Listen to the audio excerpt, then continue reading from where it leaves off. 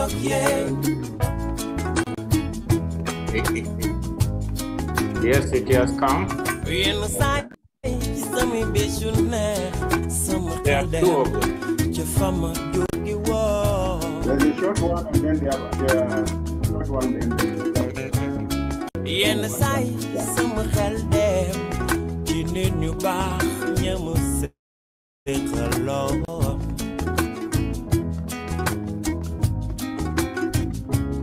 Irmão, não faz tequila e aplaudir.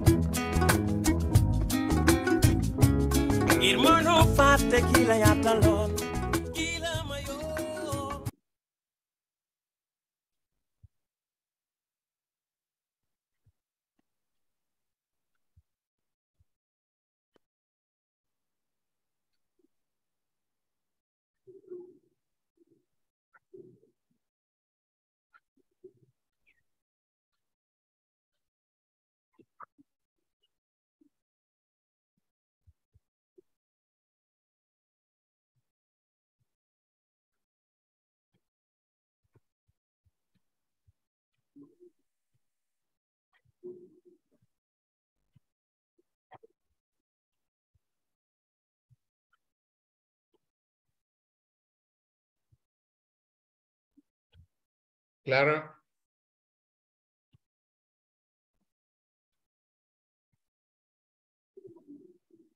Clara, can you hear me?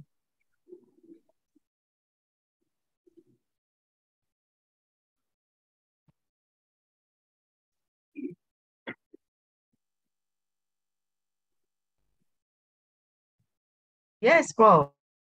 Can, can we go? Can we go? can go ahead start the, webinar. Thank you, thank you.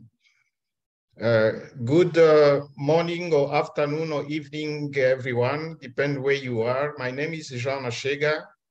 Uh, I'm professor of medicine at University of Stellenbosch, also hold appointment at University of Pittsburgh at Johns Hopkins University. It's my, my pleasure and honor to welcome you uh, today uh, for an important, uh, very topical subject on Ebola, ongoing Ebola in Uganda.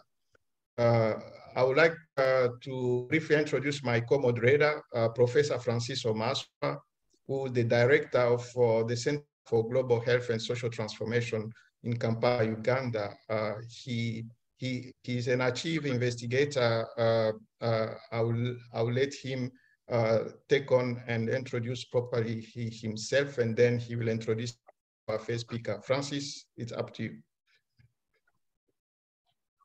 Yes, uh, good morning, good evening. And uh, I don't know, some of us are in the middle of the night somewhere in Japan, country or Thailand or something like that.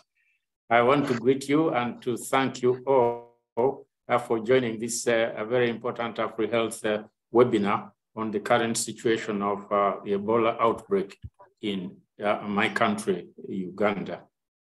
Uh, we have uh, an expert panel of people on this subject in this webinar.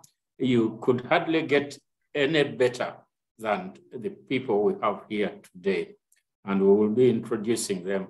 Uh, uh, uh, Jean-Jacques Muyembe from the DRC uh, is the discoverer of uh, Ebola. And he's got vast experience in treating this disease. Dr. Sam Okware is uh, managed uh, the, a a large number of Ebola outbreaks and has written several books on this topic. Uh, the uh, incident manager, Henry Kyobe from Uganda, is right in it now. He's in the middle of managing the Ebola outbreak. So uh, we could hardly get any better team of people to take us forward. Let's start with the hearing uh, from Dr. Uh, uh, um, Colonel Henry Kyobe on the current uh, status of the Ebola outbreak in Uganda.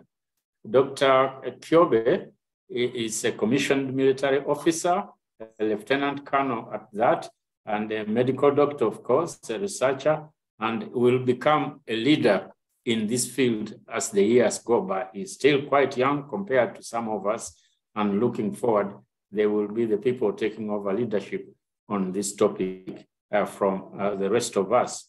He's a, a, a, researcher and the current, as I've said, the incident manager in charge of the Ebola outbreak here. He was uh, uh transferred from the army uh, in Uganda to the Ministry of Health uh, to lead this disease because of his, to lead this um, COVID outbreak in the first instance, and not COVID, I mean, uh, yeah, COVID, and now yeah. Ebola. Uh, and, uh, you know, we couldn't get a better person to tell us exactly uh, how things are. And uh, uh, without much ado, I would like now to invite Dr. Colonel Henry Kyobe Bosa to address us. And I will say more about him as the meeting progresses. Uh, Dr. Uh, uh, Kyobe Bosa, over to you.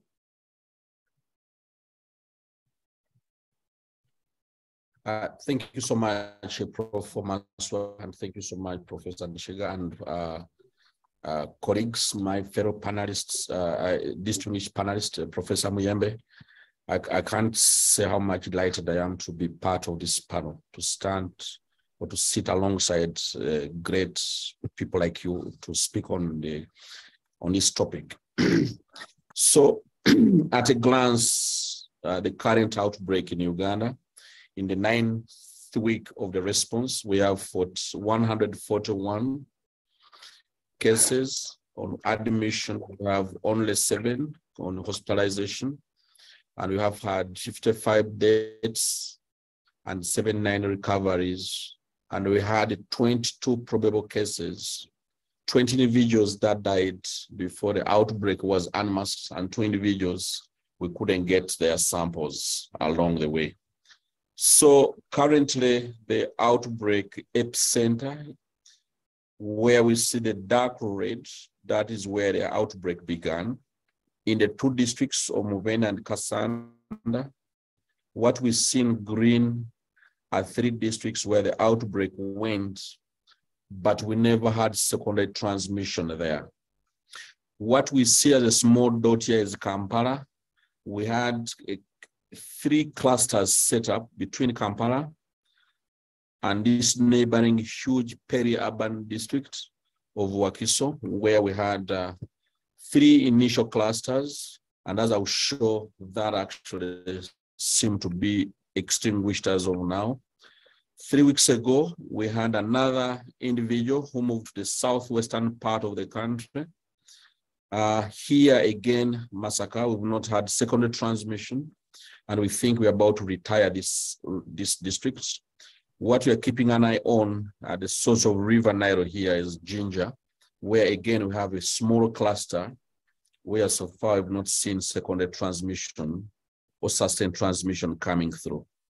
So of interest, of course, now our main effort is on the two epicenter districts, which close to 42 days ago were placed under movement restriction. And that has helped us to shield Kampala and other major big cities from getting cases or individuals moving there. So just looking at how this is distributed, uh, the, on admission, only seven individuals uh, admitted from the two epicenter districts and one individual from Kampala. And what we see in Kampala, because of aggressive efforts that I will demonstrate later, we are having very good clinical outcomes from individuals that we get in Kampala. In sharp contrast, at the epicenter, where individuals present late and we have significantly very poor, relatively poor clinical outcomes, as we see here. 45 recovery rate between 45 and 42. So uh, this is the temporal distribution, it's a physical distribution. Uh, here we see and we believe the outbreak most likely began somewhere at the beginning of August.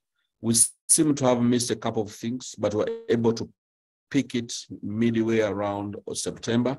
And this is where we have, uh, this is where we have this initial spike and a subsequent spike that happened with the intensified efforts of control. We had a lull, and then the spike, this large spike, is linked to one major spreader, super spreader event in at the one of the one of the epicenter districts, and this coincides far so with the with the the cases that came to Kampala.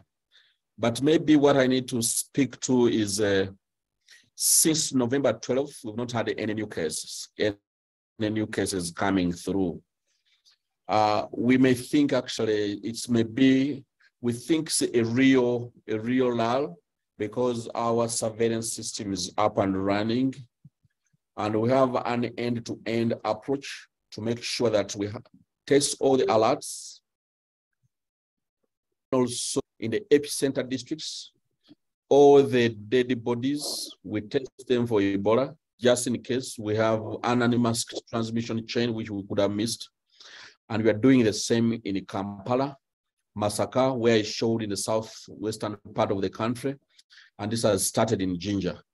The aim here is to make sure that we don't miss any, any unmasked cluster. So we think this, this remission is real and we we're trying to hold on to that.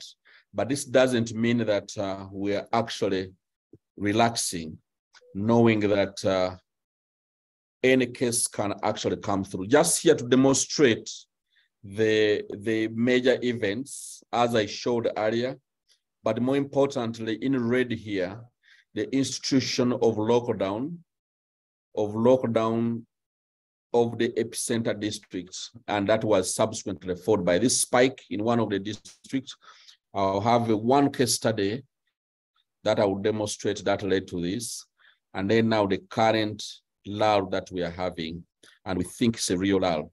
So in case, in terms of distribution, it's majorly disease of young adults, but this is a shift from the beginning where it was actually a disease of children and women, signifying family and household transmission, which later moved to facility-based transmission. And my case study will actually demonstrate that. And uh, what we don't see, except that single super spreader event, transmission, transmission at barriers has been largely limited. But here to show that uh, the outcomes uh, amongst children are actually significantly poor in this outbreak. So to speak about the extremes of age, but of course the seniors, most likely it's a data noise given the fewer numbers, but uh, of note, given the fact that it's predominantly disease of young adults, so far as we see in this country. But we see the children actually, the outcomes are really very very poor. So again, as I showed, these are the outcomes, the case fatality amongst the young children standing at 59, close to 60%, but adults are close to 40%, combining both the confirmed and the probable cases.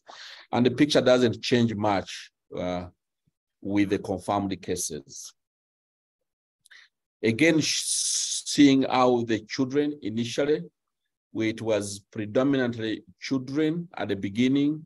Later, we're having uh, we are having later having uh, adults, and then now where we are having uh, the disease mainly amongst uh, amongst young adults. But here, seeing further that uh, children consistently In the intense transmission, actually, we had much much more, more children, 12 of them, and we lost six of them. But this now has been transitioned now with the in the current phase as we see. Uh, so again, to demonstrate the same among the students, but I think this is not something that we we don't know, and we think it is related to, as we saw in uh, Sierra Leone, that uh, even the introduction, the introduction of pediatric guidelines, actually, we still had poor clinical outcomes at the time. So in the current outbreak, still we see further that uh, we see further that the early presentation is associated with good clinical outcomes as opposed to late presentation, as I showed earlier for a case in Kampala where we have good outcomes when individuals actually managed early without going the specifics of, of care. Uh, colleagues, I have two, I have two case studies to just want to demonstrate uh, the extent of the movement of the outbreak from the epicenter into the city which prompted the government or the response to impose a lockdown on the epicenter districts to shield and ensure that Kampala and the major cities actually remain sterile. Of this individual who moved from this epicenter district, Kasanda, and moved to the another district, neighboring district, before coming to Kampala and setting up this cluster as we see that exposed this huge number of children in a go. And that same cluster actually set up a huge cluster in Kampala, demonstrating how things had moved or were moving very fast around Kampala. BA is the individual I spoke about from the epicenter. He transmitted to two and three individuals within the epicenter district.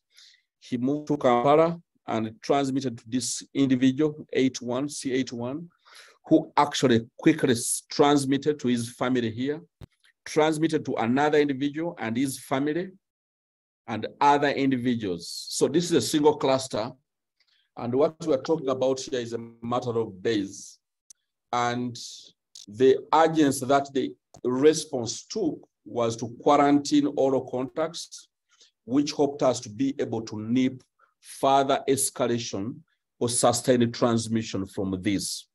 Kampala, you needed up to 10 free clusters, and then things go loose and we, lo we lose optimum control. We were glad we were able to get all these contacts, isolated them. The good news that we have had very good outcomes because we got them early as we did.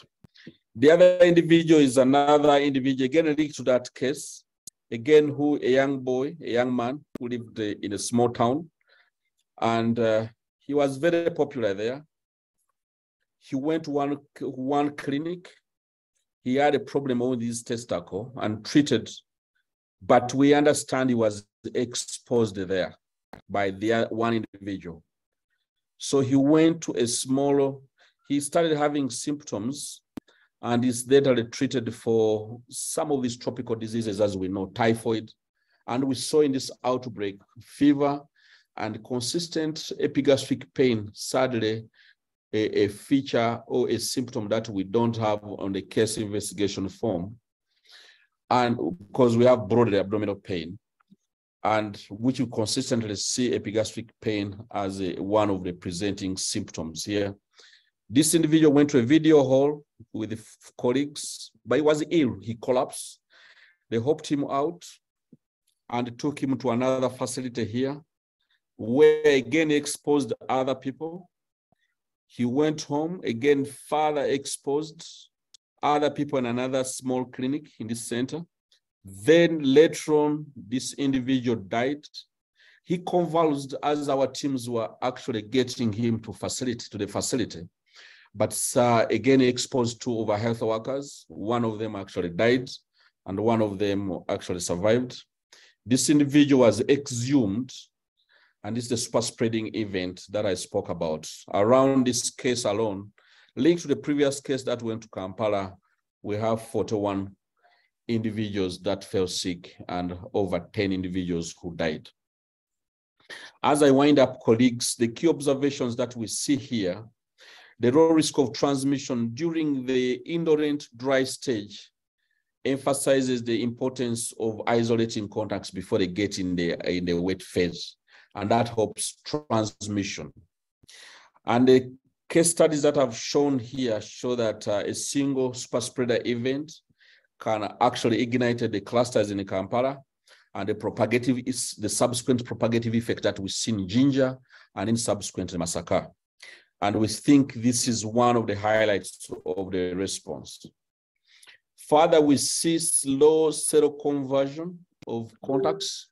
And we think uh, this is not because of low effectivity, as people think low infectivity of, of Sudan Ebola virus, but potentially it related to the duration and the extent of the exposure and the clinical state of the individual and the role of some of these individuals have uh, with, with the case.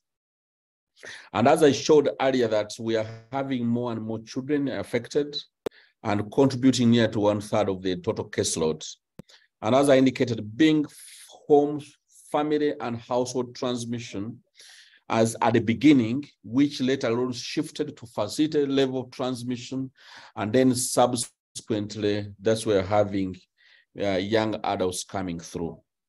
So we were seeing a rapid expansion of the outbreak from the epicenter to Kampala. It took only two weeks.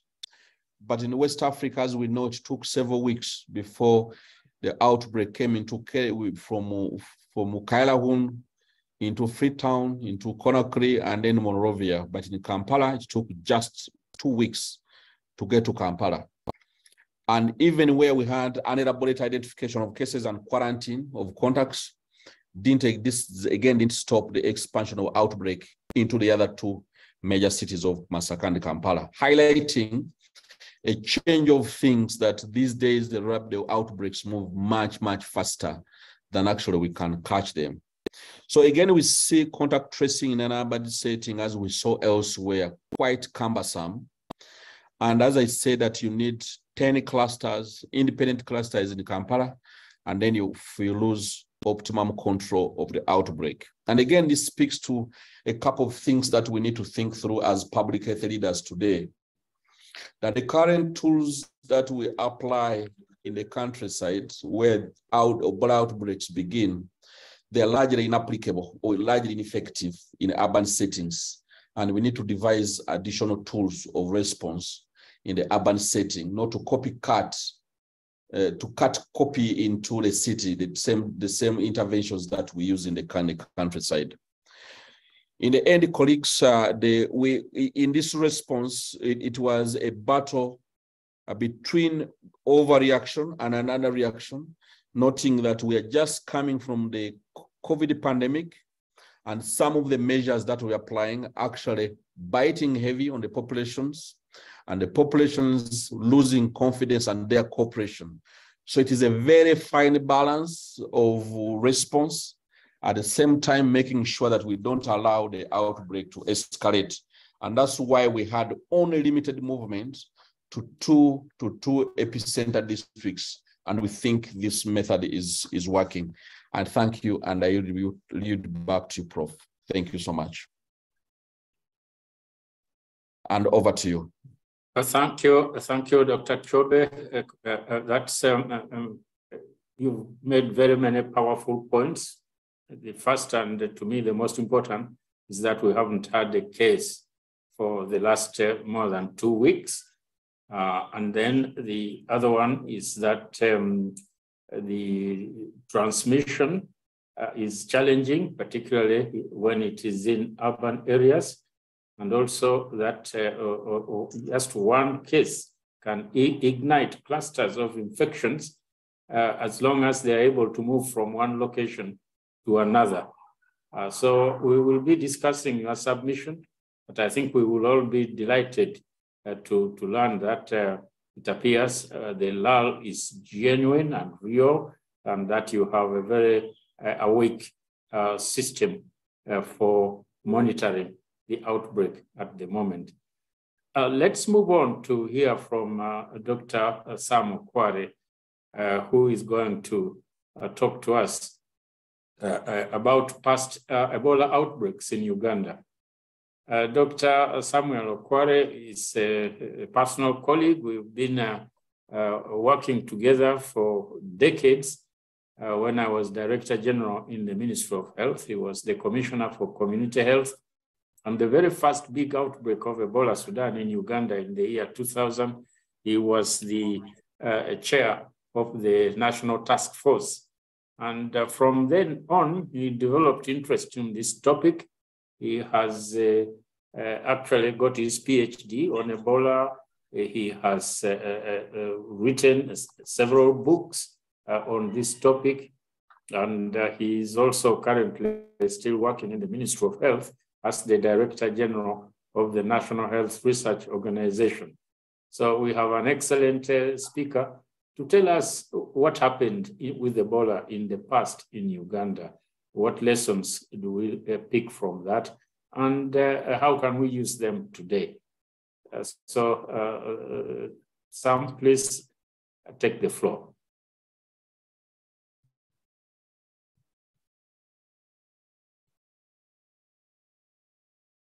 Can you allow me to share?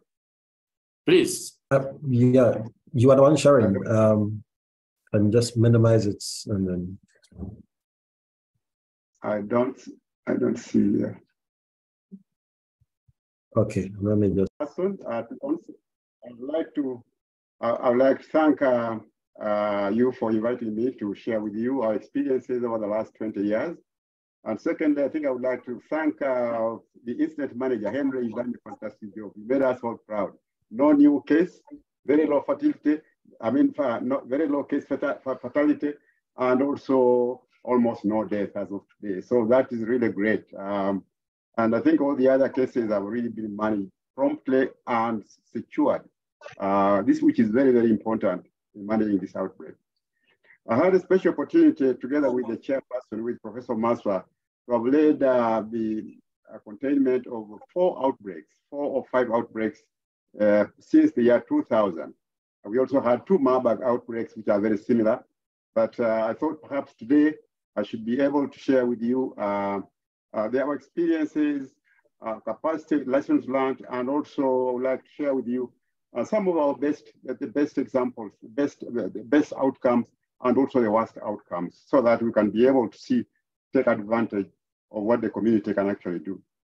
Um, Chair, I think, I think from the very beginning, I think let me just say, I always keep this picture. This is River Ebola. The right of that, the north of that is Southern Sudan, and to the east, west of that is DRC. Uh, there was a major outbreak here in the 1976, and in the in the in, in, Sudan, in Zaire, there was a, another out, similar outbreak in 1976. So the Sudanese outbreak was a result of the uh, Sudan Ebola virus, and I think that's really what migrated down to northern Uganda. Uh, globally, I think in Africa, we've had 28 outbreaks, and most of which are in Central Africa. We used to be number one, but we were overtaken by the outbreak in West Africa, which had 30,000 patients, 30,000 cases, uh, 10,000 deaths, and uh, of whom I think 800 were medical personnel. Let us just describe um, a little bit about um, our Ebola cases by year since 2000. Uh, what is interesting about these cases is that they have been coming with increasing frequency. Secondly, they have been coming in areas where there are forests, and they have been coming during the rainy season, uh, the fruit season, and when are clearing forests for agriculture. And that has been very consistent, which is why most of these cases have actually been in Western Uganda, uh, Western and Central Uganda. We had a serious Ebola outbreak in 2000, uh, which again, like this particular one, people ran away from there to Gulu, to Masindi, but again, it was quickly controlled. Um, 2007, we had the Bundibugyo outbreak, which is not related to this one. And in Luwero, I think we had the best example of an outbreak. One case, one fatality, it stopped and there was no, uh, uh, thanks to community mobilization. And in Kibale district, also we had uh, a few out outbreaks uh, following years, and in Luwero, again, we had seven cases, and uh, that's what happened. And today, now we have this Mubende outbreak, which is coming. This is just a graphic uh, example, which I told you. Uh, many of the uh, many of the areas, uh, most of these areas, the first uh, 2000 that was in Gulu, they ran down to here down to Mbarara and Masindi, but they were all contained very quickly. And as you can see, all these cases have actually been in, in those areas. Now, where do these outbreaks really come from? We did, try to do some studies here. We found there were some uh, uh, antibodies in pigs, in, sorry, in uh, uh, in bats. There are antibodies, I think, in some some primates in, in, in Luero, but then we are not absolutely sure. But we feel that perhaps the bats, for the time being, from the results that we got from Ibanda at one time, feel the bats are a major reservoir because all these other animals are victims. All these animals are victims, have been episodic in all these animals, uh, the chimpanzees, the stool, the dukas, and so on. Now, when this, uh, we, we feel that what normally, uh, the, the way the index case usually goes out to hunt or to organize his gardens and so on, they may eat uh, half-eaten uh, infected fruits. They get infected, they come home, then from there you get close contact with, uh, with the family, and the disease continues uh, from that side. Uh, some some of the people actually they're hunters, they get they, they consume infected meat, and uh, there's a problem. And of course, once the disease is in the home or in a hospital setting, everything else, all the fomites are infectious. But what was very interesting, I think, in Gulu, was that uh, there were a lot of people who were also positive, but asymptomatic, and they had no they had no, no, no symptoms completely. So we are wondering whether this was cross-reacting uh, antibodies or whether it was just a, a, normal thing and that they were managing. And uh, also we found that, um, I think uh, the studies in West Africa recently, they really showed that there was an endogenous spread. Semen, for instance, after three months, 100% of the semen are infected. And uh, after six months, 62% and so on and so forth. Breast milk and also uh, uh, other protected parts, immunologically protected parts in the body also can harbor the virus. So we are wondering whether a virus, a virus persistent derived transmission is possible. Uh, not with the possibly with with with the with the uh, the West uh, with with the uh, Zaire type of Ebola, but not yet here. But here also we found that um, there were there were some cross-reacting antibodies with the pig, and some dogs were also infected uh, when actually uh, when, when, we when we we try to test them.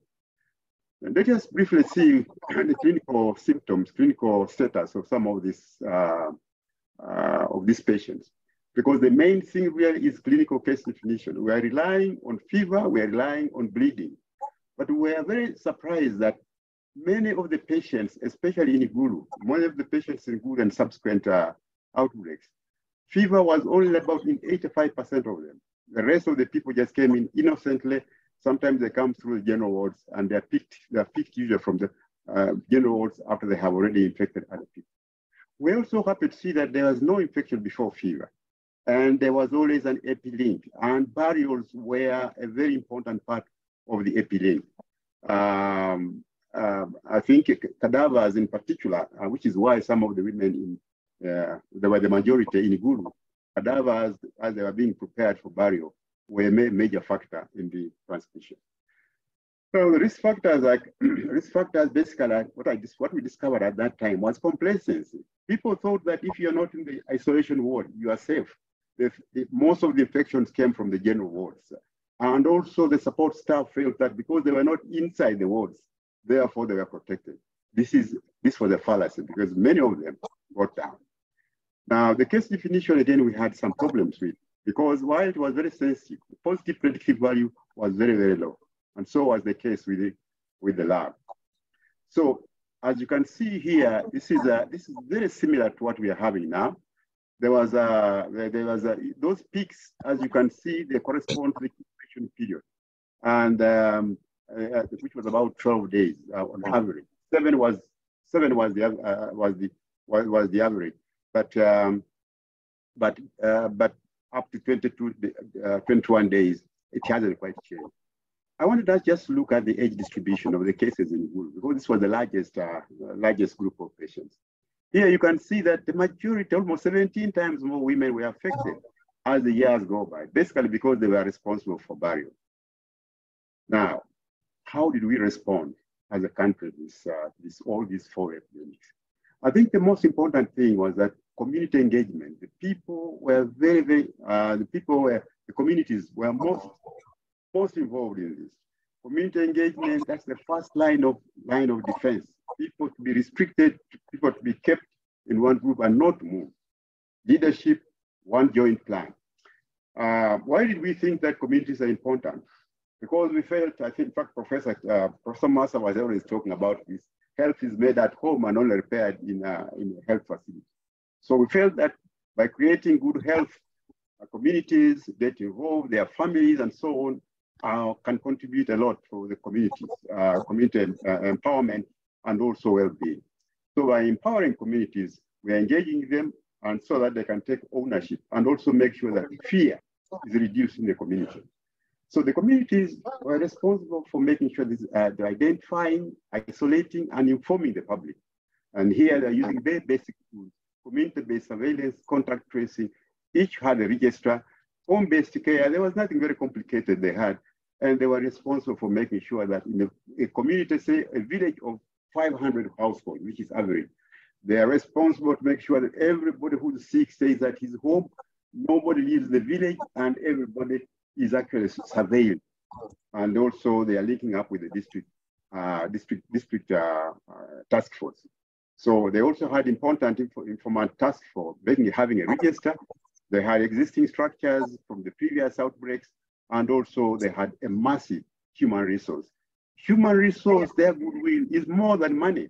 So it's important that they are brought on board to help us with this. Now, the issue of money of facilitation has come up many times. Uh, but here, really, basically, we need very moderate, very moderate incentives. A bag, uh, a book, a small uh, calculator, that type of thing is what kept everybody on board. And of course, the oral library supported the skills and training. This is the community-based, uh, community-based, uh, the engine of, of the control. You have at the community level 500 households. There are two people who are picked here. The scouts, they go around the village and they're communicating with the district surveillance office and the response of barrios, ambulance team, collecting data in the evening, and then transferring some of the patients, finding the hospital, and making sure that they're in charge. In other words, you have 10,000 villages, there are 10,000 teams that are in charge of the program. Let us just look at some of our frustrations. The frustration basically is the delays. This one, first thing here is the delays on average, all these outbreaks which we had, there was a two-week and a three-week delay in, uh, in, in, in, getting the in getting the getting to know the epidemic. And um, and uh, you can see, say, in the case of Luero, once you get the epidemic quickly, and you always get sure that it can be contained very, very quickly. Where there was a long delay, and also uh, out, out, uh, the outcomes were not so good. There was also another frustration. The case definition I said, told you was is quite uh, sensitive, but very low, posit uh, low positive predictive value. Only 50% of those who had been identified by mobile team were revalidated by supervisors as cases. But this is not bad. Uh, and I think what I think uh, was most frustrating was the issue of the laboratory tests. As you can see here, the positive predictive value was as low as 21%, 39%, and so on and so forth. But let us just share the best outcomes that we had. There was a case of uh, an outbreak in, in, in, in, in Luero here. I think could have been one of the best in the world, where you get only one, one fatality. There was a girl who came on the on 1st of May on that date. Two days later, was admitted with what looked like a, what looked like an abortion. Uh, she was kept uh, there for two days, tested positive. A community-based engagement was, uh, was imposed on the people. No more cases were, were, were, were, were reported and the epidemic disappeared thanks to the community. There was another area where I think community containment was very, very helpful. Here, there was two patients who escaped from uh, Gulu. They went to Masindi from Lachor Hospital. They went to Masindi here. Now the community just put around quarantine around that village.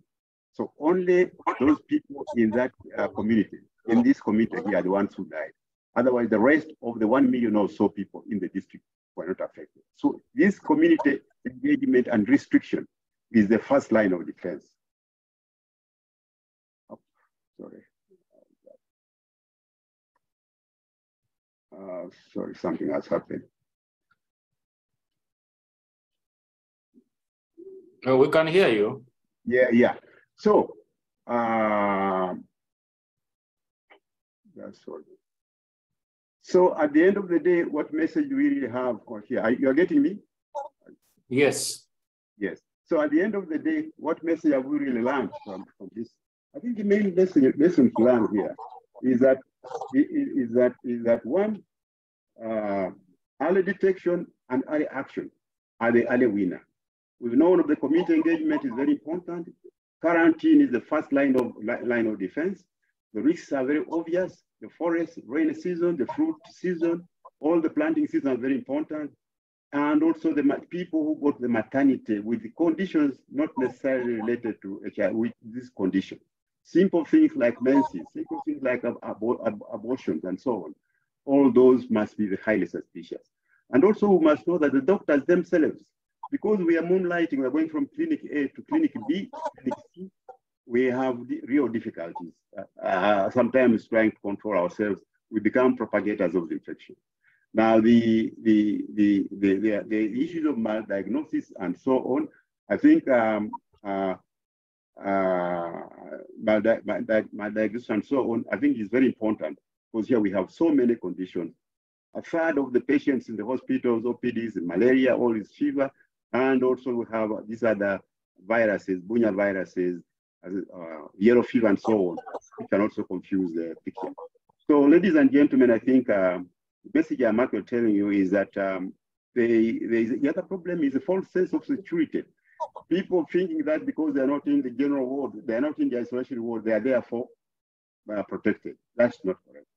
And finally, really, the question is that uh, the message I want to give you is that community engagement gives a holistic approach makes community surveillance much easier and is the center of gravity of the containment measure. Ladies and gentlemen, not all was 100% perfect, but the Ministry of Health, working along its partners and the community, contained the outbreaks, sometimes with delays, but once uh, promptly and effectively. Over. Thank you. Uh, uh, thank you, uh, uh Dr. Kware, for uh, giving us that very detailed presentation of the past outbreaks and your analysis of uh, uh, uh, various issues, presentation, epidemiology, uh, the response, and the lessons. one of the big things you said, according to me, from what I've heard, is increasing frequency that is what you have observed in Uganda. And it's probably the case in other countries too.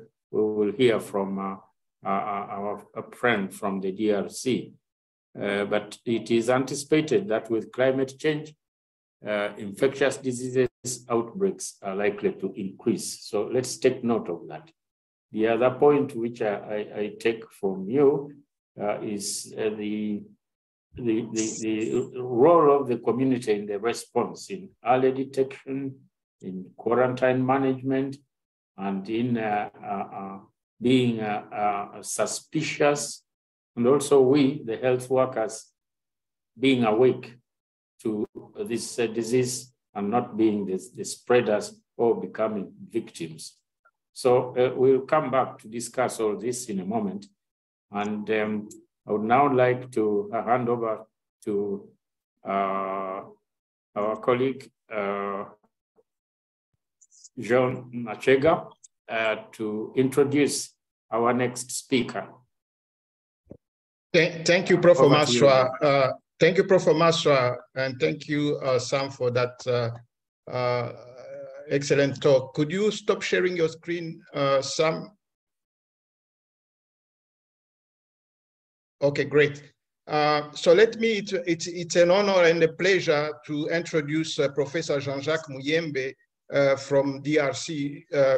Uh, uh, Jean-Jacques may not need introduction for many of you, but let me, just for those who don't know him, Jean-Jacques Muyembe is professor of virology at University of Kinshasa, and he also director, co-founder of the National Institute of Biomedical Research in Kinshasa.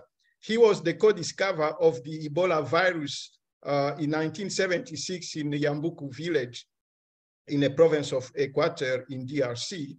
Uh, he received many prizes uh, for his work on Ebola, uh, from the Hidego Prize in Japan to the Merieux Prize, uh, prestigious Merieux Prize in France.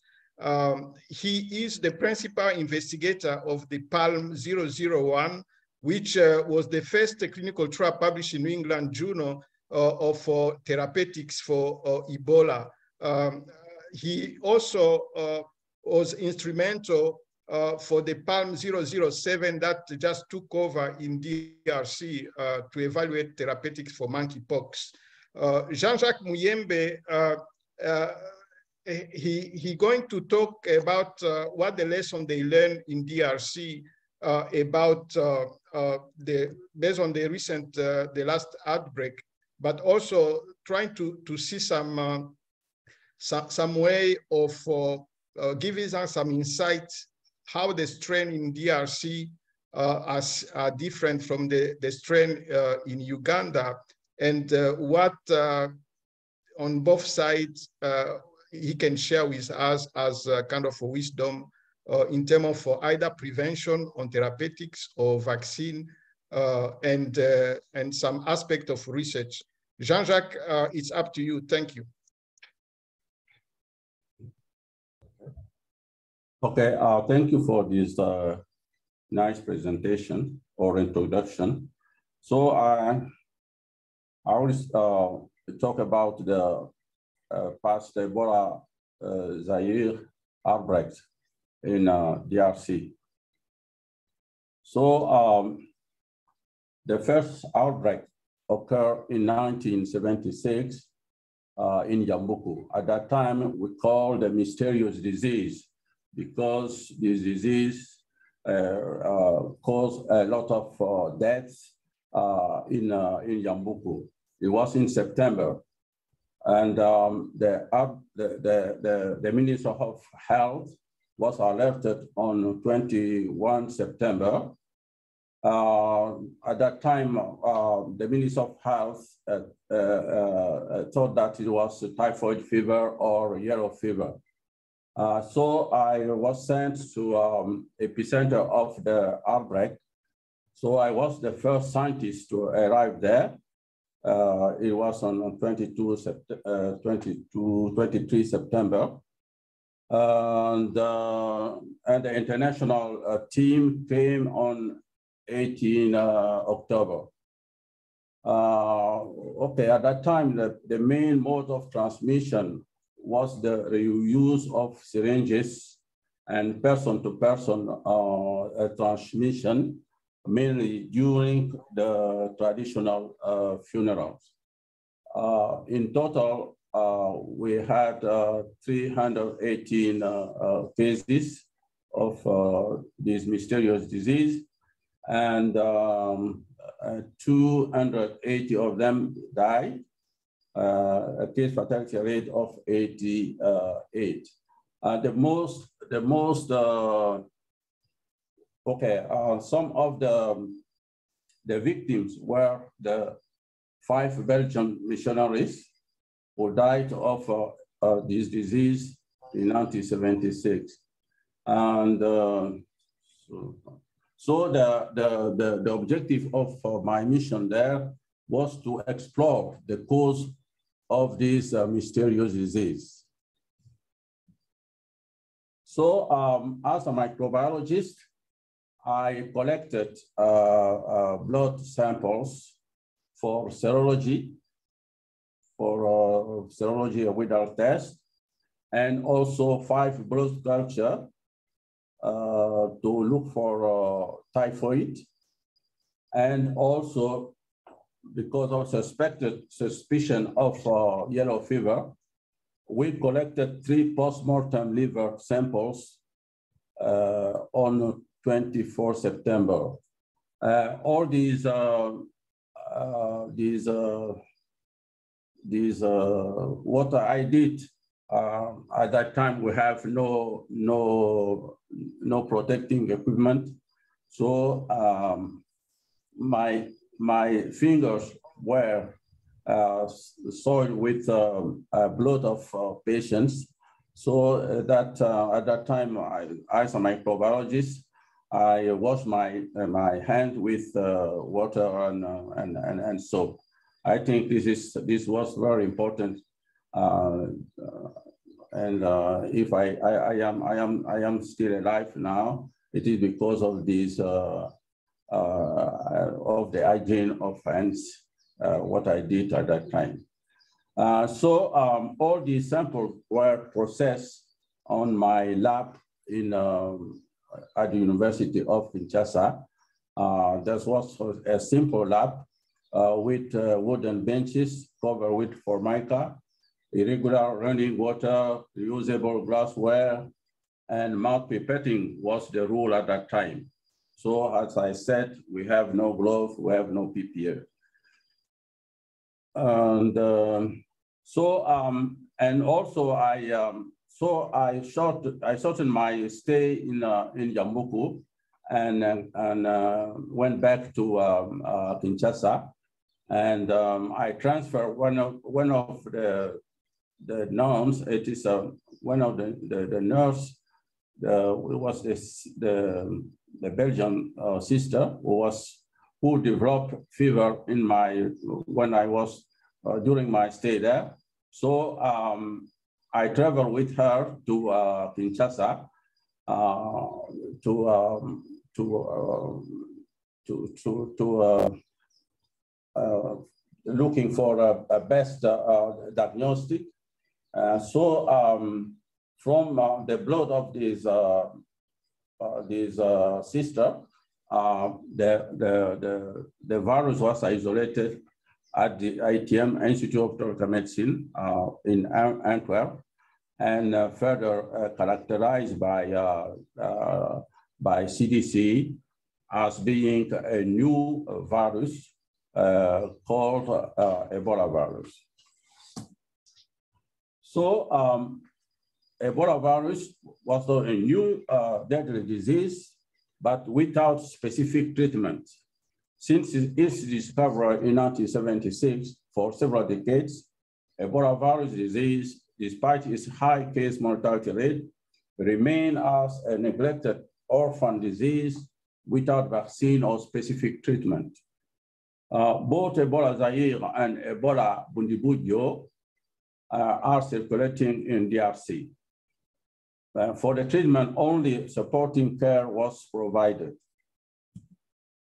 Um, but uh, in, 19, in 1995, we had uh, another big outbreak um, uh, in Kikwit. And this outbreak was, was uh, uh, at the beginning was a nosocomial inf infection. a lab technician was uh, uh, operated in Kikwit. And uh, after this operation, um, many, many, um, many, many doctors and anesthesiologists and um, nurses were contaminated. Uh, for example, uh, the anesthesiologist, uh, Mobiala, contaminated three doctors.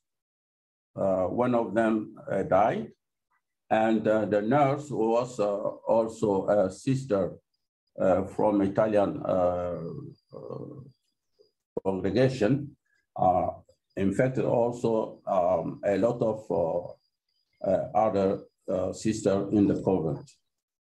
so this, this was the, the beginning of, of a very big outbreak with 300 17 cases and 250 deaths, uh, case fatality rate of 78%. So um, Kikwit outbreak emerged 19 years after the original Yambuku outbreak in 1976. It was the first urban epidemic with the risk of spreading to the two closest capitals in the world, Kinshasa and Brazzaville the first ever implementation of a package of public health intervention, including case management, surveillance, contact tracing, safe and dignified burial, social mobilization for community engagement, infection prevention and control were established at that, uh, at that outbreak. And also, uh, we uh, treated eight Ebola patients with blood from uh, Ebola survivor. So um, this, uh, this was the first time to have uh, uh, these uh, this kind of uh, experiment, experiment, experiment, uh, excuse me, experiment. So um, eight patients, Ebola patients, were treated with the transfusion, with blood transfusion of Ebola survivors. And seven of them survived. And this, uh, this, uh, uh, the result of this experiment was published in the Journal of Infectious Disease. And we concluded that uh, Ebola antibodies were protective. But, but uh, this experiment remained as a mere anecdote for a long time. Because uh, it was an observational study without a control arm. Because uh, this experiment occurred at the queue of the outbreak. Maybe the virus has lost its virulence. Because the, the small sample size of our study, only on eight patients, and also because the failure of a perimmune serum in macaque in the lab, uh, a researcher from uh, NIH uh, show that uh, macaques are not protected with a hyperimmune serum uh, of, from Ebola. And finally, the evaluation of convalescent plasma for Ebola virus in Guinea was not associated with a significant improvement in survival. It is why the blood from Ebola survivor was not used in subsequent epidemics uh, of uh, Ebola virus in Africa for many decades. But I continue to, uh, to think that Ebola antibodies were protective. It is why we were in contact with, uh, with uh, researchers from uh, NIH in the United States, Dr. Abram, Dr. Brown, Graham and uh, uh, Bar, Bar, Barney Brown and Dr. Nancy Sullivan. So um, we uh, decided to continue to work on the, the blood of, uh, of uh, survivors of Ebola. And one of them uh, was Mr. Mubiala, who developed severe Ebola virus disease uh, at that time with fever, headache, uh, arthralgia, bloody diarrhea, and so on, and was hospitalized for two weeks, followed by uh, six months of providing inpatient care by uh, to patients admitted with Ebola virus infection. So uh, for me, this guy was was ex, uh, was uh, exposed many times to, to the virus. So um, he must have developed uh, antibodies to Ebola. Uh, indeed, uh, indeed, uh, 11 years after the, the, the, the infection, Mubiala had uh, still had antibodies to, uh, to Ebola. And so um, his blood was collected and um, the antibody gene were, were, were uh, cloned uh, to produce monoclonal uh, antibodies. And one of these monoclonal antibodies we call uh, uh, MAP114 was effective to neutralize Ebola virus. So the first, um, the, the phase one study was conducted in uh, United States. And at that time, we, we have also um, outbreaks of uh, uh, Ebola uh, in DRC. So uh, we think that there was uh, the opportunity to, to, to use these monoclonal antibodies, MAP 114. So um, these, uh, these uh, antibodies was used uh, in two protocols. It is uh, the Murray protocol and uh, RCT protocol under the umbrella of uh, WHO. Um, I will not develop how, how we did this experimentation, um, but it was a very, very, very good consortium between uh, uh, my, institute, my institute, INRB, NIH, and other uh, NGOs um, involved in the in the Ebola response in uh, in, in, in DRC. Uh, so um, in summary, we isolated monoclonal antibodies that neutralize Ebola virus um, that was use of monotherapy with MAP114. So this MAP114 protects macaque when given as late as five days after challenge. And we show that administration of MAP114 is safe and well tolerated at 50 microgram uh, by uh, microgram by uh, kilo. And the treatment with a single human map suggests that a simplified therapeutic strategy for human Ebola infection may be possible. So um, in, uh, in 2018, uh, to, yeah, uh, no, yeah, to 2018, yes, Ebola hit the eastern of the DRC for the first time. It is North Kivu and Ituri provinces were affected. It was the, la the largest Ebola virus outbreak in DRC. And outbreak was declared by WHO, this outbreak was declared by WHO as a public health emergency of international concern. But the containment of this outbreak was very challenging due to active armed conflict and low adherence of the population to the outbreak control measures. So this outbreak uh, was for us uh, an opportunity to use technological innovation and to conduct clinical trial for vaccine, therapeutics, and diagnosis. Okay, so uh, in 2018, um,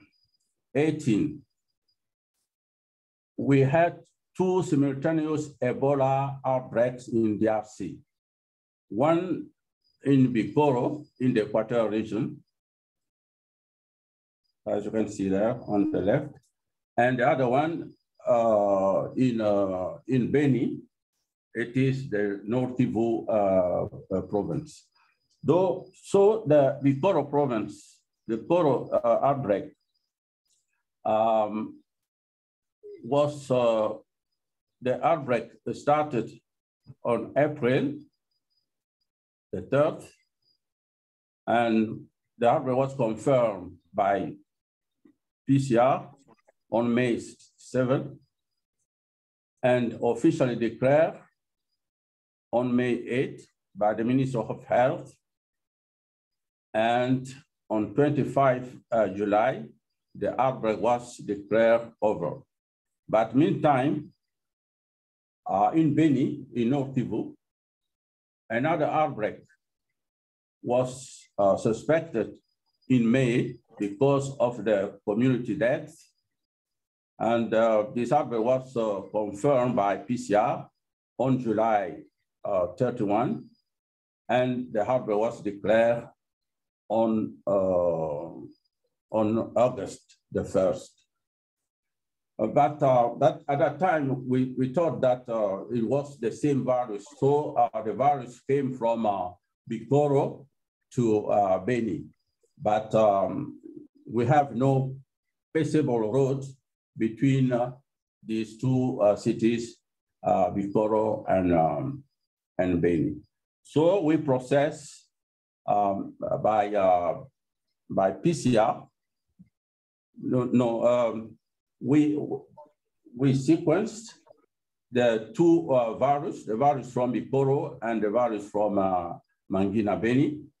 And it was shown that, um, that uh, we have two independent outbreaks during the same period.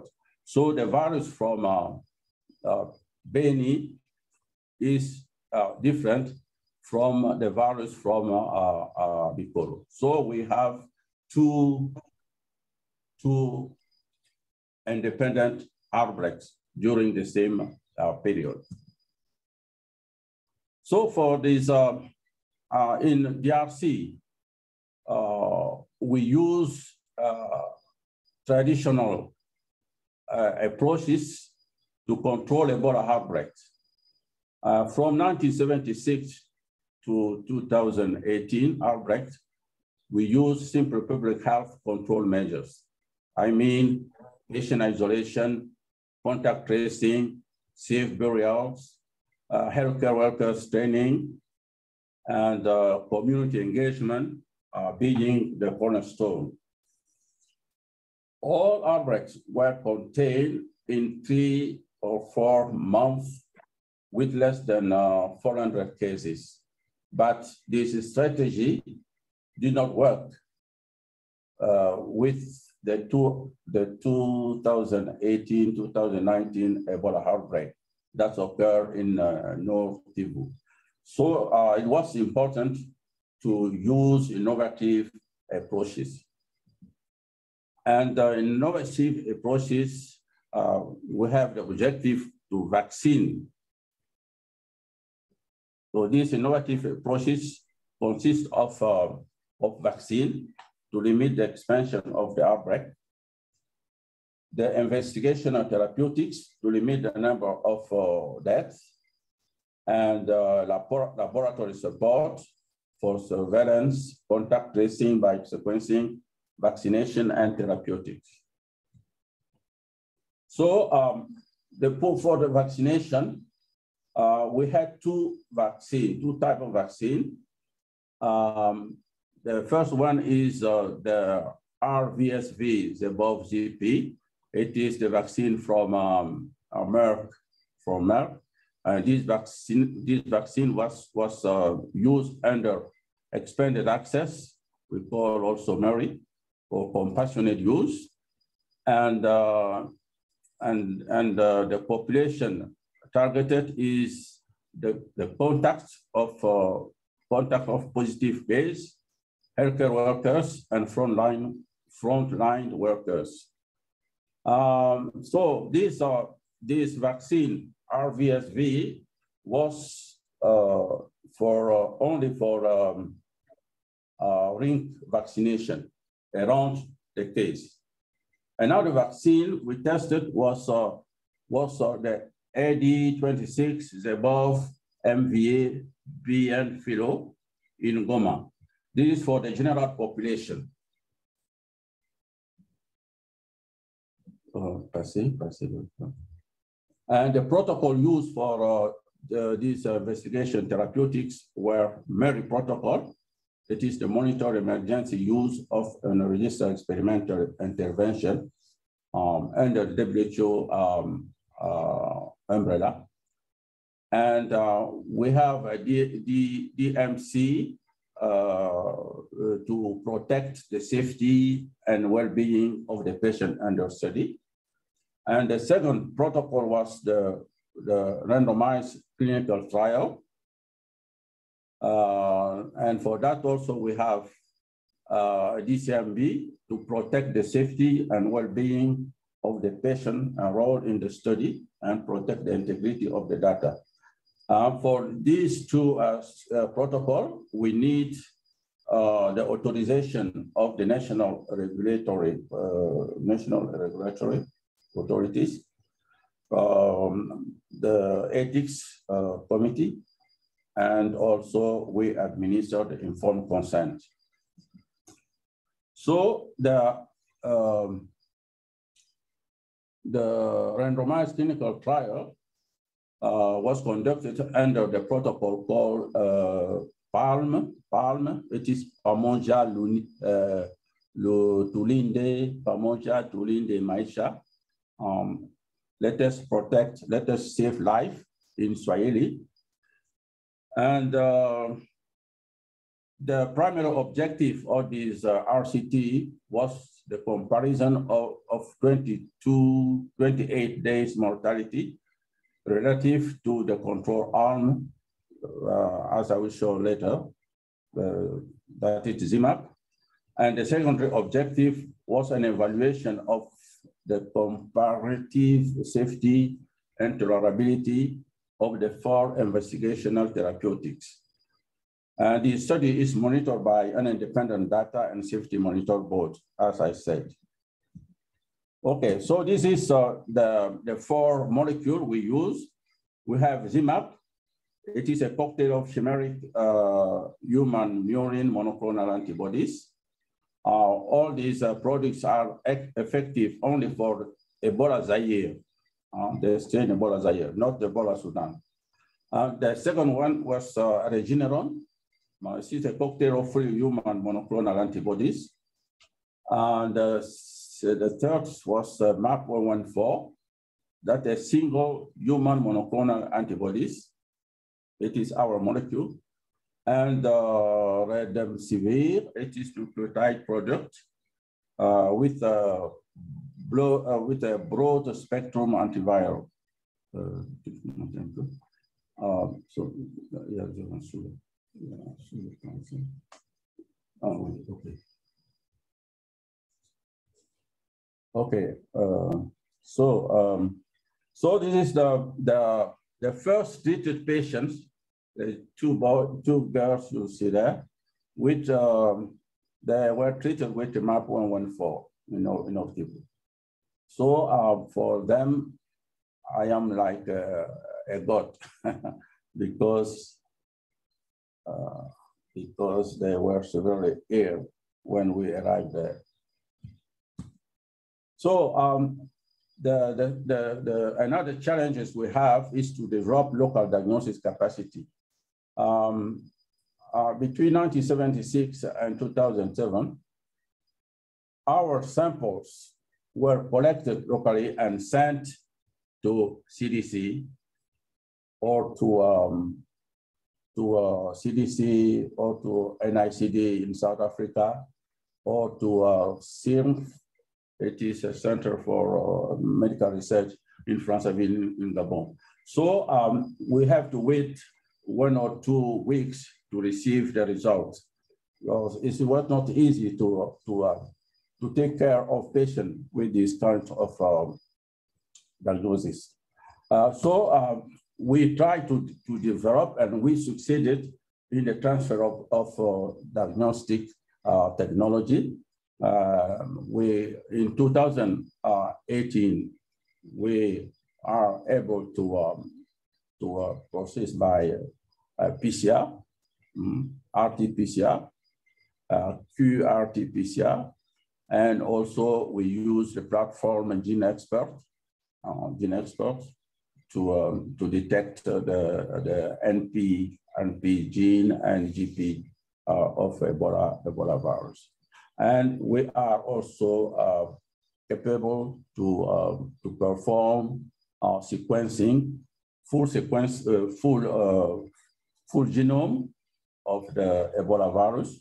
We use uh, two platforms, uh, Mynon, Oxford Nanopore Technology, and uh, MySeq, Illumina, Illumina technology. And also we were able to, um, to establish um, uh, laboratories uh, uh in the field at different epicenters of the outbreak in DRC. Uh, for example, in Beni, in Butembo, and in Katwa, uh, and, and, and so on. So these kinds of uh, equipment we have uh, even, even sequencing, we conducted sequencing uh, in the field uh, in, uh, in, uh, in Qatar.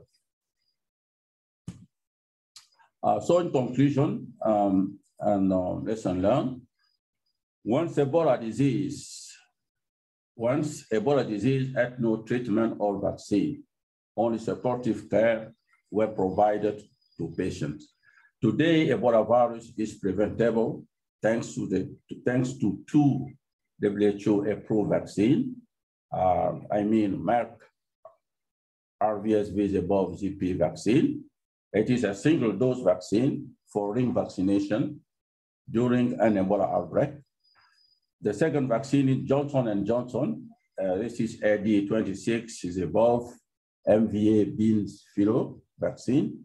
That is a double dose vaccine to implement to implement preventive vaccination for people at risk in association or not with an Ebola outbreak. Today, Ebola virus is also curable thanks to the two FDA-approved antibodies-based treatment. It is Regeneron, a single intravenous dose, uh, dose, and also MAP114, a single intravenous dose with case fatality of uh, 35%. Ebanga, the dream of my life, is now a reality thanks to the commitment of Congolese scientists, the cooperation with NIH US, and the contribution of Congolese patients and survivors. And uh, scientifically rigorous and ethical sound clinical research can be conducted during an outbreak and provide data to help inform the outbreak response. We learn from PALM study that patients arriving late during the course of the disease with very low value of CT are at great risk of dying. Effort is needed to develop new therapeutics to improve survival and to complete uh, clear the virus from survival. We must be concerned about the sexual transmission of Ebola virus by uh, Ebola survivors. And the virus reservoir needs also to be addressed to have a clear understanding of the dynamic or dynamics of the transmission. And so um, I want to acknowledge uh, to all our partners uh, everywhere in the world. Thank you very much. Over to you. Thank, thank you, thank you very much, uh, Professor Muyembe. Uh, uh, that really was outstanding talk, and uh, so I think we we have really uh, food for thought, question, comment, and I'm gonna really pass back the mic to my co-moderator. Um, to we can go back and forth. maybe Francis, you want uh, to have quick comment overall? Well, it is uh, uh, absolutely um, fascinating to listen to the presentations, uh, including the last one from uh, uh, Professor Muyembe. we have a future, and there are still major unknowns but it is up to us, as he said, thanks to partners and the scientists and the patients. Uh, we have very little time uh, left for uh, our audience to uh, interact with us, but we should give them time. Or are we able to extend the meeting by another 15 minutes, for example? Is that possible? So I, uh, Clara, uh, are we okay if we go five minutes over, so we, we still have 10 minutes, but it's okay to go 50, uh, to have 15 minutes. Please 15 minutes. Okay, good. Okay, uh, okay, one, wonderful, thank you. Uh, uh, uh, uh do we have reactions, questions, hands up? I don't see any, but uh, please. So I, I have, I have, I, I did monitor the chat. There is no uh, specific question from the chat, but anyone who want to ask question can uh, either just jump in and ask the question or comment. Yeah, while, while we are waiting, uh, uh, uh, uh, Jean, just monitor. While we are waiting, I, I, I would like to just underline that the, uh, Professor Muyembe said two things. There is a virus circulating in the region. And then these two outbreaks of Bikoro and Beni happening independently. My uh, understanding and view uh, about this disease in Uganda also here is that it's endemic and we don't know the reservoir. And we should not be surprised to see it crop up at any time, anywhere. And we should therefore uh, be much better prepared for it. So that's one major point that uh, I take forward. Uh, and the other one is um, uh, how we can improve on the therapeutics there, the vaccines and the therapeutics, it's particularly for health workers to start with, and then uh, vulnerable populations when uh, we get hit by an infection. But these new tools, we need to work hard on them and uh, develop them. And can, can we do this here in Africa ourselves? We were talking about the, the COVID vaccine uh, being available to other people and not to us. Is there a way our political leaders can work with the scientists to develop these vaccines? There is a hand up, Naoko Shindo. Uh, please uh, uh, uh, unmute and take the floor. Thank Introduce you yourself as you Yeah, okay. Well, thank you very much. Um, this is Nikki Shindo uh, from WHO, and I thank the organizers and then also uh, Professor David Heyman to extend um, the information about this wonderful webinar uh, to WHO. Um, I would like to ask some questions to Henry. Hi, Henry, and, and um, congratulations to your leadership and successful you. control so far. yeah, I'm so so happy to see you on the screen. Um, so my first question is about um, the cluster. And then this 26-year-old um, young um, gentleman who seems to be um, uh, to have become epiphoci for this um, cluster. Um, he just came for orchitis and, and got um, treated um, for that disease. Um, I was wondering if he was the um, the index of, of this cluster or he just happened to be infected in this healthcare facility.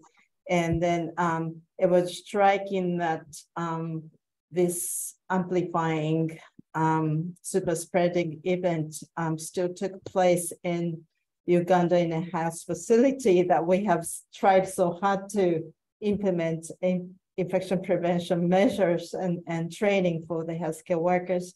Um, um, that's one sad thing, but um, the subsequent infection um, starting from case number 90, um, would you be able to give us some insight into how these infection to subsequent five to six cases um, uh, took place, um, the mode of transmission, if possible, and they all ended up with very mild cases. Um, are they just friends, happen to to be a work um, colleague or um, something else? Um, and then, uh, if possible, also, can you, Henry, perhaps describe about clinical feature of this outbreak? Um, is gastrointestinal symptom like vomiting and diarrhea prominent or typical febrile,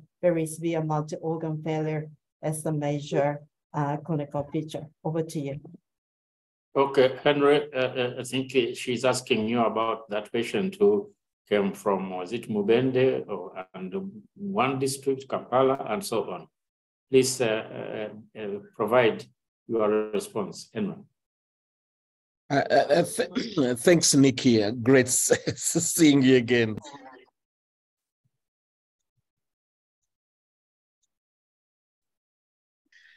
Uh, again, here, much, much appreciated, Nikki, and uh, thank you so much for the questions. One, bronchitis and ended up in a facility. The processes in these private facilities, it was a much small but very busy facility. And actually, that's another risk factor in, a, in an outbreak. Uh, busy, small, and again, even the application of IPC measures was hugely limited.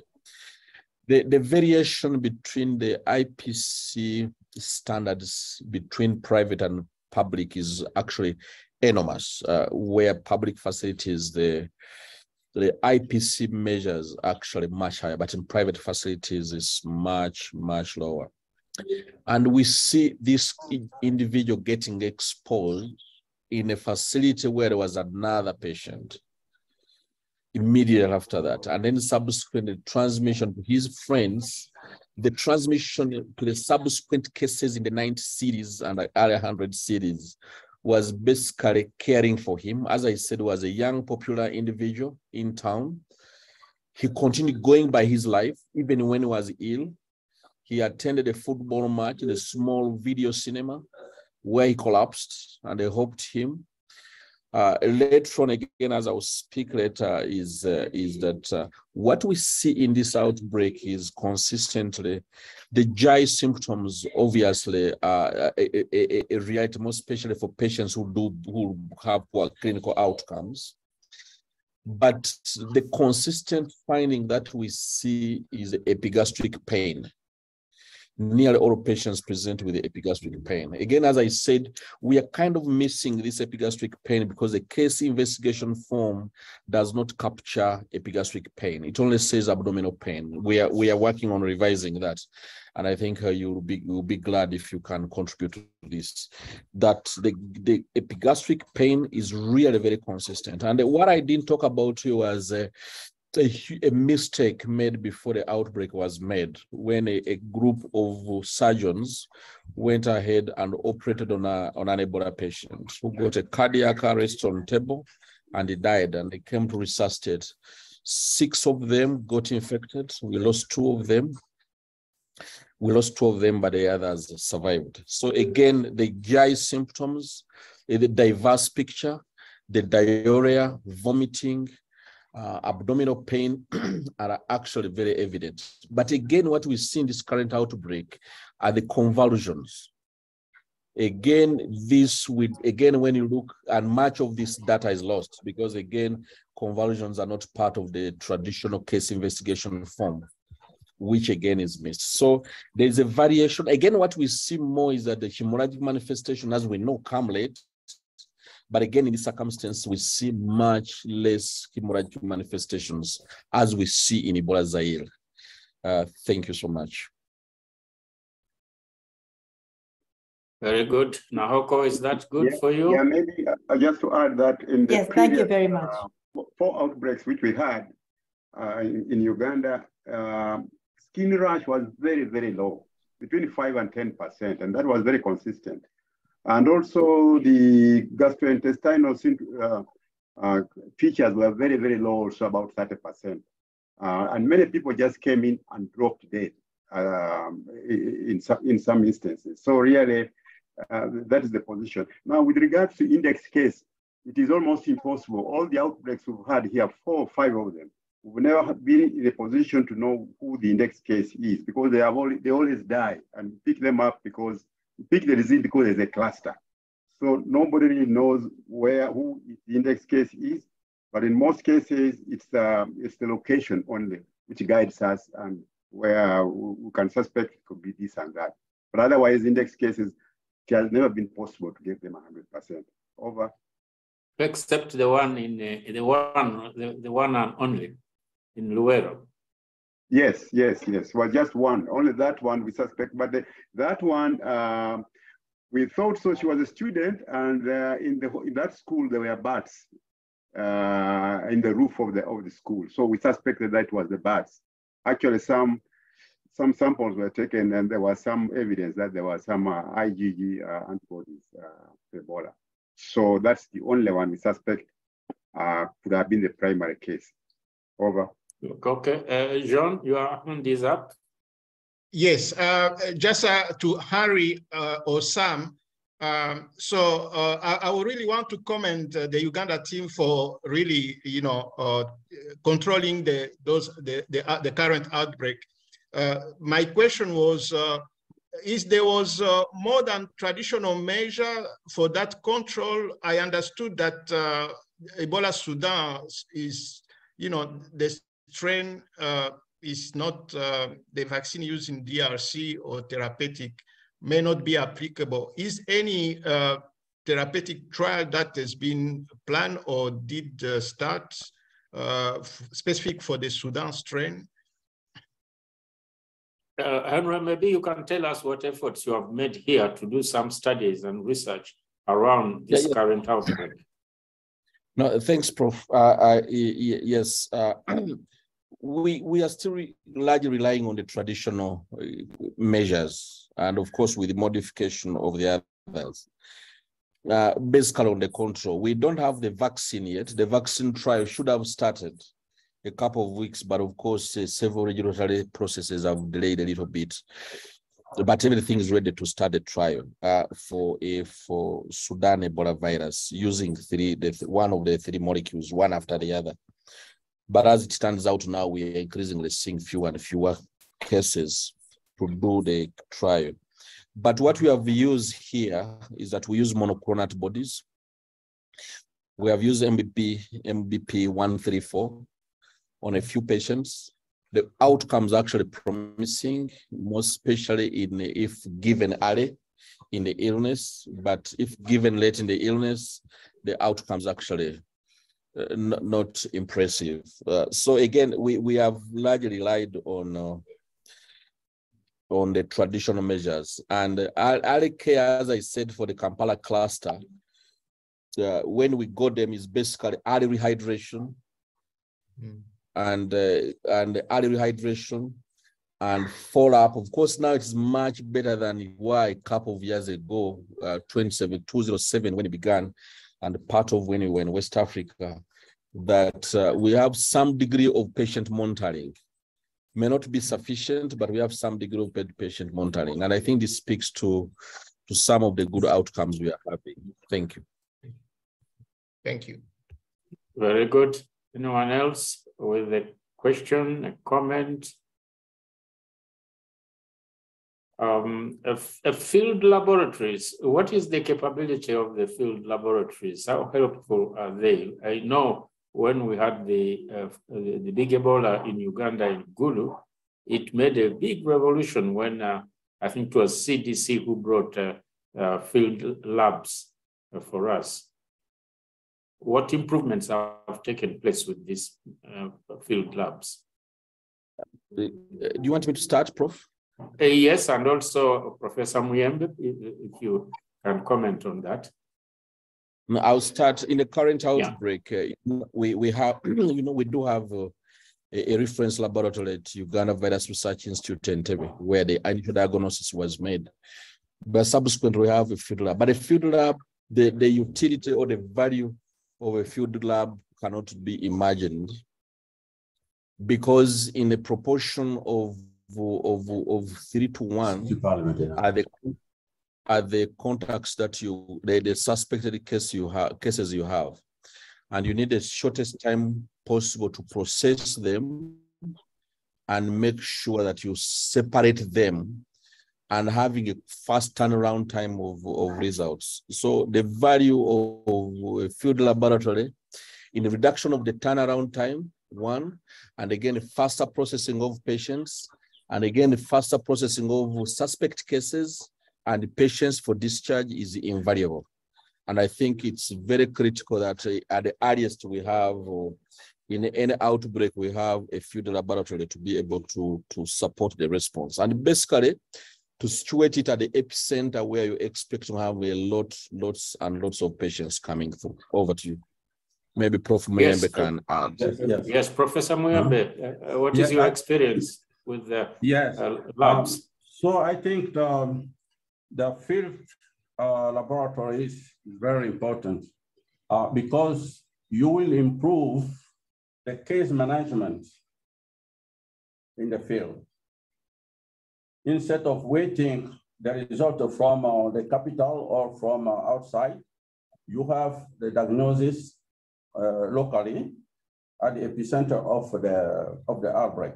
So I think the first, the first advantage is to, um, to uh, exclude other common uh, diseases that have the same symptoms uh, uh, uh like uh, Ebola. So you have to confirm that it is Ebola. And secondly, if you have the CT, the, the, the, the, the viral load of, the patient, it is also very important for the clinician to, uh, to adapt uh, his, um, his treatment, his treatment. And, uh, and uh, also sequencing, the capacity to sequence the genome of the virus is very, very important now because you can uh, have uh, some idea on the, um, the contact tracing. Sometimes it is very difficult to have the contact tracing based on the, um, the epidemiological data. So uh, sequencing is a new tool to have a good um, contact tracing, uh, very accurate contact tracing. Um, so the first thing for us is to, to confirm that it is Ebola Zaire or it is Ebola Sudan. It, if it is Ebola Zaire, we have the treatment, we have the vaccine. So if, if, if it is Ebola Sudan, uh, that, that is another question. This is the importance of uh, the lab, uh, mobile lab, or uh, simply um, uh, the um, GeneXpert platform. It is enough. Yeah. Yeah. Well, Uh, can I say, can I say something about field, field, uh, about field laboratories? Please. Uh, our early experience was that the field laboratories were only good for, for uh, confirmation, case confirmation, and also case management. But when it comes to screening patients uh, in the community and for prevention, I thought the clinical case definition was very, very important. But unfortunately, this case definition needs to be evaluated locally and validated. So I think that's where uh, our, our focus really should be, that for the case definition, should be able, uh, each time each, each time there is an outbreak, we should quickly uh, put into place a validation exercise or research, make sure that symptoms which, are, which come out, which have been issued out by WHO and other agencies are consistent with the local situations. Uh, because there are so many things here which make, which, where we have fever, we have uh, bleeding, we have so this and that. So really, what I would say is that you need a concurrent evaluation of the clinical case definition. Over. Okay, I would like to ask another question to uh, Professor Muyembe. Is it possible to carry on with studies in the absence of an active outbreak? I heard uh, Henry Chobe from Uganda now sort of saying, oh, now the patients are not there, we can't test this and so on. Is it possible to grow the virus in uh, uh, some animals? So another way, so that we can learn how to develop therapeutics and vaccines without an active outbreak. Uh, yes, uh, for me, I think for the first, first, uh, first, first stage of a study, we have to conduct in a P4 lab because you will use the entire virus. And uh, Ebola virus is a, uh, uh, a, fourth, uh, a, a P4 uh, pathogens, so the most dangerous in the world. So you cannot handle this uh, virus outside a P4 lab and uh, to infect cells and to, to infect uh, non-human primates, you need a P4 lab. But um, if you work only on the antigens of the virus or with um, uh, nucleic, uh, with uh, nucleic acids like uh, RNA that you can use outside a P, P, uh, P4 lab. You need a P2 or P3 lab.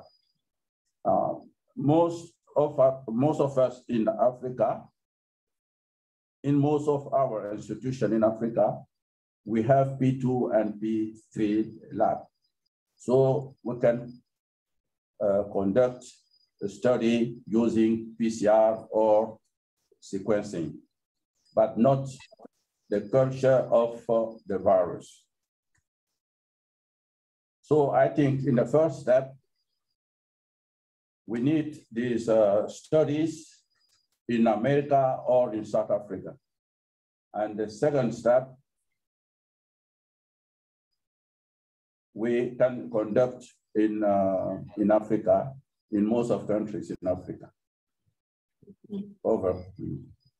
Yeah, I, I think someone Uh, uh, uh, should support a, a scientist like yourself to have a P4 lab. Don't you have a P4 P4 lab, Jack?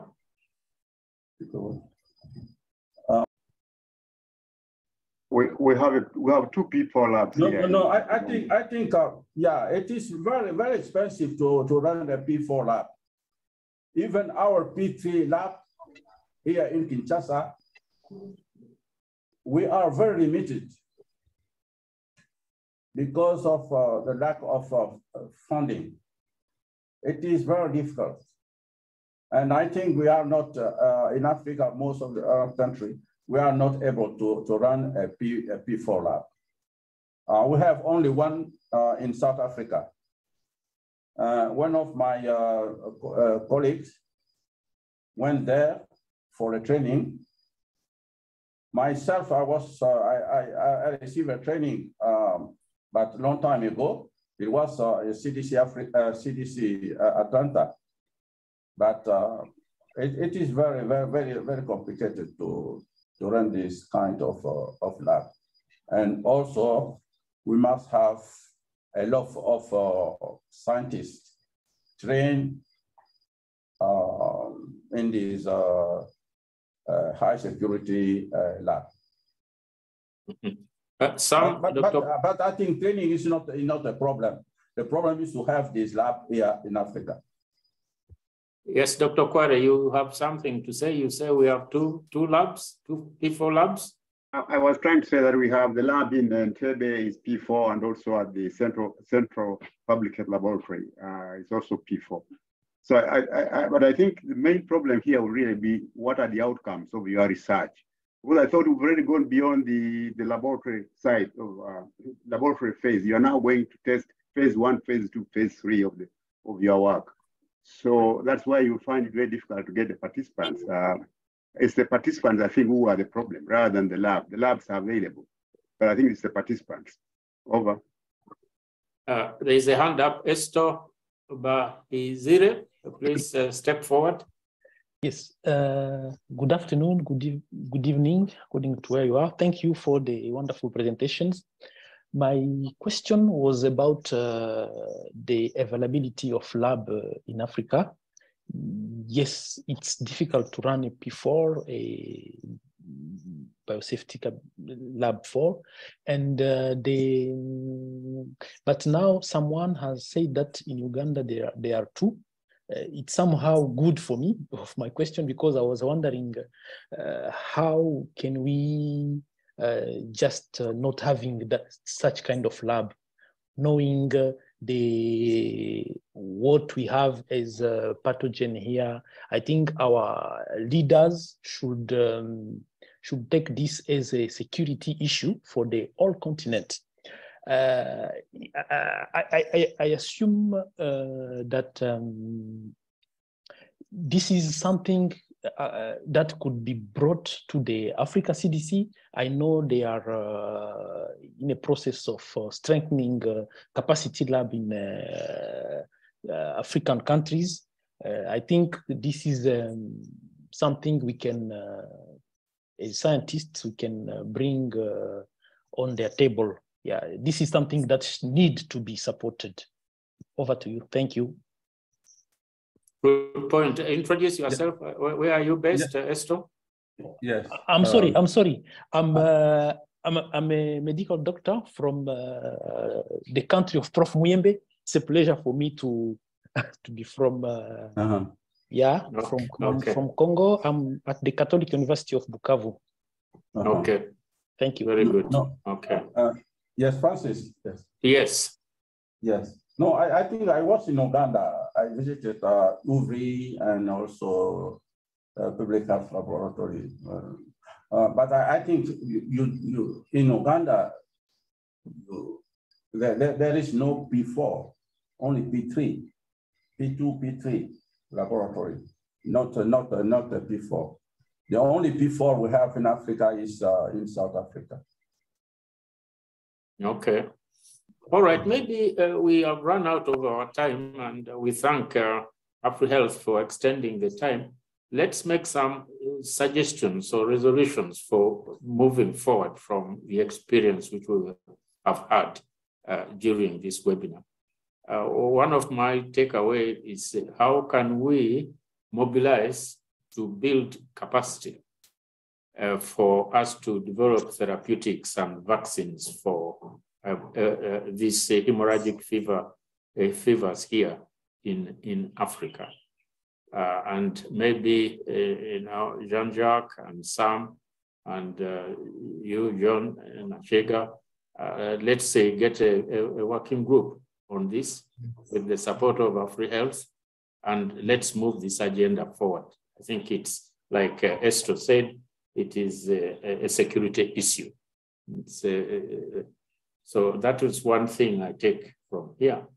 Then the other one is, uh, I think, documenting from the current uh, Ugandan outbreak, uh, the behavior of the population. Uh, I suppose, uh, you know, Jean-Jacques, you said each outbreak has got its own characteristics, but uh, I see that there has always been a delay in picking the cases. What can we do to make uh, early uh, identification of the outbreak? Uh, Dr. Kware said uh, there has never been an index case, they all die. Uh, uh, how can we reduce this? I think, again, moving forward collectively, maybe there should be a community working on these uh, uh, viral hemorrhagic fevers. And again, your leadership, Jean-Jacques, Sam Okware, uh, uh, uh, and uh, uh, Dr. Kyobe, uh, let's take this forward. Uh, and you, uh, John Nashega, uh, and, and let's uh, create a community of practice so that we have regular meetings uh, around uh, these hemorrhagic fevers. And uh, we learn from each other and we agree on how we move forward together. I don't know if that makes any sense. Yes, uh, th- those are very good resolutions. So we, we're taking note on those. I would like just to add the last resolution is that, Yeah. uh, and Jean-Jacques Muyembe uh, mentioned that they, they need to train the next generation of uh, scientists, uh, uh, you know, uh, rising star like Harry and other who uh, in this area of imaging and re-emerging pathogens. So uh, on that note also, AfriHealth is contributing I was in DRC last month uh, to try to uh, to build capacity of uh, you know uh, build a, a, a NIH D43 training grant to between South Africa, DRC, and other partner in US to train the next generation of people focusing on emerging pathogen like Ebola, monkeypox, COVID, and so on. Uh, and that require not only include uh, building capacity for laboratory, um, eh, eh, you know, taking advantage of advanced country like South Africa in genomics and so on. So Francis, I think uh, we are on the same page and uh, AfriHealth is already uh, tackling some of the issue, but uh, you summarize them quite very well. So let's give a chance to our speakers. Just uh, uh, one or two things you would like to leave behind. We start Yes. with uh, you, Henry.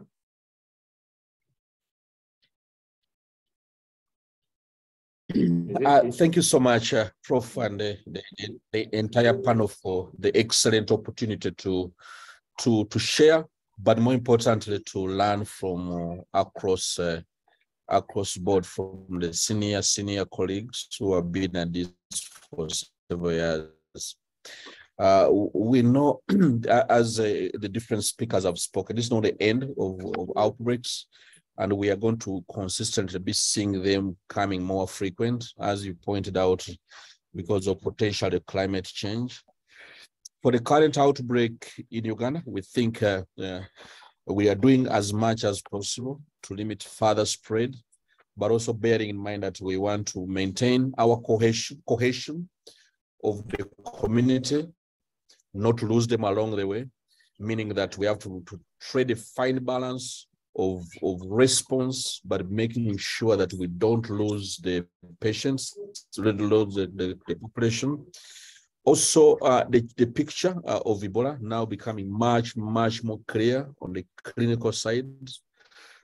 The, some of the technologies, uh, the genomic sequencing, we're using them and they have been very useful for us in the cities to be able to characterize cases, link cases, and uh, much as of course some of the technologies are still a little bit have limitations because we have to have sufficient viral load. The city values have to be in a, in a range of under 30 for us to be able to to to do genomic sequencing but very vital tools but again as the professor Muyembe said we need to to shift much more to newer tools of response than we traditionally thank you so much and over to you Okay, let's go to uh, yes. Sam.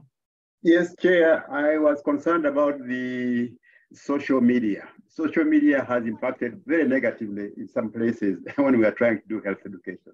So I really thought that we should get a strategy for the for, for the management of fear. The, the, the, the, the fear epidemic. The, the fear is a much worse epidemic than even Ebola itself.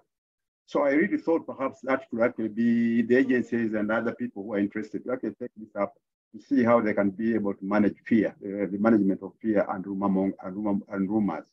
The second point is the centers of excellence. Uh, already in Tebe, for instance, we, we are centers of excellence for a number of emerging and re-emerging infections. I think it might be nice for us to share a few ideas on how we can embrace this uh, to the best of the region or the rest of the continent. This could be possible through WHO or through other regional agencies like, uh, like Africa. CDC. And finally, uh, the issue of exchange, technical exchange of um, uh, just this, for instance, center A going to center B, you know, to see what is actually happening. Uh, I think a program for exchange of uh, uh exchange visits, uh, doctors, that type of thing, experience, that actually can be very, very helpful. And finally, of course, we need to have, before we do that, we need to have an inventory of ongoing research in the continent and ongoing centers of excellence. Over. Okay, Jean-Jacques, as you start, there is a question for you in, in the chat. It is asking whether it is possible to repurpose the therapeutics which are working for Ebola Zaire for Ebola Sudan, uh, uh, on top of other things that you would like to say as your parting words. Um, yes, so the, um, what we did uh, is now possible to use this uh, methodology to, to develop other monoclonal antibodies against other type of uh, Ebola virus. I mean uh, Ebola Sudan, and Ebola Bundibugyo. Ebola Sudan is circulating in, in, uh, in Uganda and in Sudan, in South Sudan. Uh, we did not have this uh, in, in DRC, but uh, is circulating in Uganda and in DRC. So uh, for us, we have to, the, the priority is to develop uh, monoclonal antibodies for the treatment of these uh, uh, two um, uh, Ebola virus circulating in both in Uganda and DRC. and also uh, to uh, to uh, develop uh, vaccine because we, we have now we now we have the technology to do that. So what can we do? Uh, uh, um, we need funding. We need this kind of uh, local leadership. And also uh, to work uh, in a team, multi-disciplinary team, because Ebola is not only a medical problem, but it's a social problem. And to fight against Ebola, we need, we need uh, community engagement. Uh, this is very, very important. I think two things are very important to, to, to control Ebola. It is local leadership, somebody who has the capacity for research and for epidemiology will be the chief.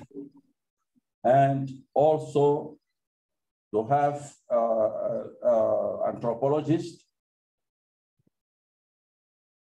to, to give a good information to the population and to understand the perception of the, the community for the, the for Ebola. So this is uh, the combination of uh, all these of the scientists and anthropologists and others. It is very important to uh, to control Ebola outbreaks in uh, in Africa. Over. Well, thank you. I have nothing else to add. I will hand over to you, John Nashega. It's been a great experience for me. And I think uh, from today, uh, control of these uh, hemorrhagic fevers will have a new direction for Africa. Over to you, John. No, th thank you. I would like to, to thank all the speakers for the brilliant uh, uh, talks and also the very vibrant discussion and the interest. We This was uh, webinar was recorded, is going to be posted on AfriHealth uh, website.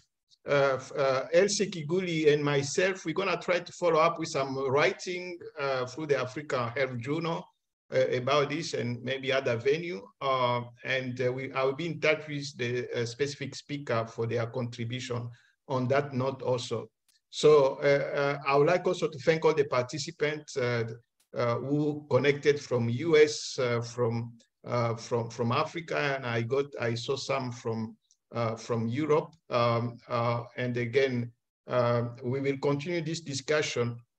And at the end, I would like also to reiterate really the need for building capacity for emerging pathogen on the continent for the young generation. Uh, and again, I'm really committed through AfriHealth and NIH Fogarty on this, and I'm working closely with uh, INRB in Kinshasa and AfriHealth uh, and we will be connecting with other countries, uh, starting with South Africa. And uh, so I'm good. I'm good that I have the, my network uh, increased to Uganda, and uh, we can um, we, we, will be reaching out uh, also soon.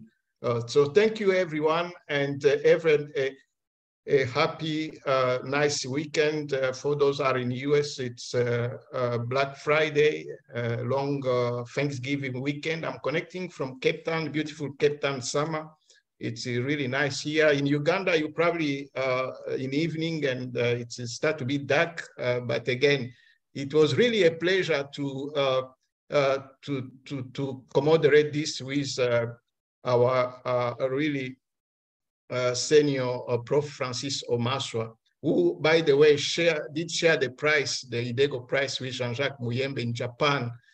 so it's really it's it, it, we have really great caliber on this webinar and it's really again a pleasure and honor uh, for to have my senior uh, to to to to commodorate with, with them so thank you everyone and uh, we will be in touch through AfriHealth thank you. Bye bye